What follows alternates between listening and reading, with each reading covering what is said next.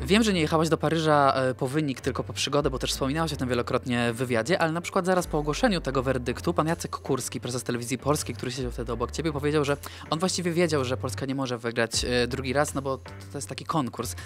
Też tak myślałaś, jadąc do Paryża? Bo przecież no, na pewno rozmawialiście o tym, że dochodziły ci jakieś słuchy, kto jest faworytem i tak dalej. Mhm.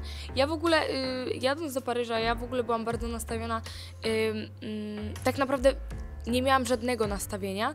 Jedynym moim nastawieniem było to, że, że chciałam być po prostu dumna z siebie i z występu. I, i tak jest. Jestem y, dumna ze wszystkich i, i, i moja mama powiedziała, że jest ze mnie dumna, więc chyba, chyba było dobrze. Y, I usłyszałam masę pięknych słów od ludzi i, i, i wydaje mi się, że y, wydaje mi się, że że, że było dobrze i, i, i, i y, czy Czy do- docierał do ciebie głosy, kto jest faktycznie tym faworytem? Bo Ja- to jest też element tej zabawy, żeby sobie tutaj obstawić. Ja słyszałam w ogóle dużo wiadomo o Armenii yy, i, i to, że w ogóle Malena wygra, to jest dla mnie, to jest y, wielka radość i, i jej gratuluję. Malena, girl, you're amazing if you watch this, like, I love you for real. Naprawdę ona jest y, genialna i to, jaką mu zrobił, mamy w ogóle słuchamy bardzo podobnej muzyki i, i, i, i bardzo dużo mnie ta przygoda nauczyła, naprawdę. Cieszę się, że wspomniałaś o Malenie, bo przypomniało mi się teraz następne pytanie. Bardzo mi się podoba piosenka Kami Kami. Uważam, że zasłużona wygrana, Tak. ale ja na przykład wolę tę wersję audio, tę, do której teraz będę mógł wracać częściej dzięki Spotify.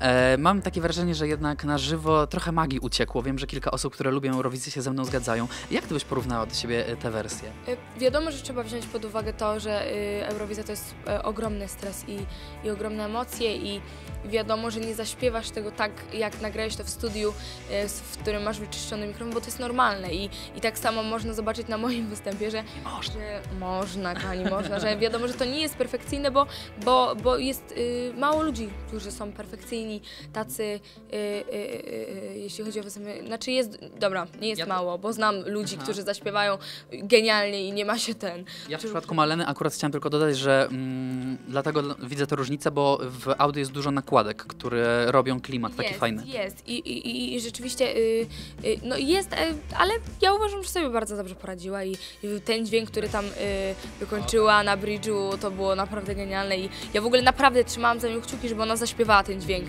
dobrze i wszystko było super. No mega, mega gratulacje dla niej.